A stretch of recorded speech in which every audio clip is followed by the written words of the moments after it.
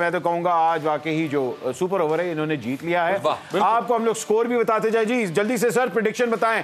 क्या मुल्तान सुल्तान कहाँ तक पहुंचेगा? देखिए जी अभी तक तो कोई भी आउट नहीं हुआ बट साहब हाँ। और जिस तरह इनके कार्ड हैं वो मेरे पुठे नज़र ही आ रहे हैं बार बार तो मुझे लगता है कि अभी तक कोई आउट नहीं हुआ और बड़ी इजी सिचुएशन है मुल्तान के लिए कि वो चेस कर ले। मुझे नज़र आ रहे हैं? फुल हैंड पड़ गया तुझे।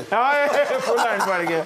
अच्छा कल वाले मैच के अंदर वाकई जो आपने बात की थी कि लाहौर और कराची की जिस तरह है राइवलरी कल कराची किंग्स और जलमी की राइवलरी वही तो नहीं होने वाली। देखिए बेहतरीन मैच होगा और जिस तरह आज जो प्रेस कॉन्फ्रेंस हुई थी साहब मैं पहले भी बताने लगा था बाबर आज़म और इमाद वसीम से बौछाड़ हुई थी सवालों की। जी। तो उनसे पूछा गया था कि बाबर जो है वो काफ़ी देर से चल रहा है सोशल मीडिया पे भी कि इमाद बाबर और आमिर जब भी ग्राउंड में होते हैं तो इवन वो सलाम दुआ भी नहीं कर रहे और मुलाकात भी नहीं करते। हालाँकि पहले बड़े जिगरी दोस्त थे इमाद अच्छा। वसीम और बाबर आज़म।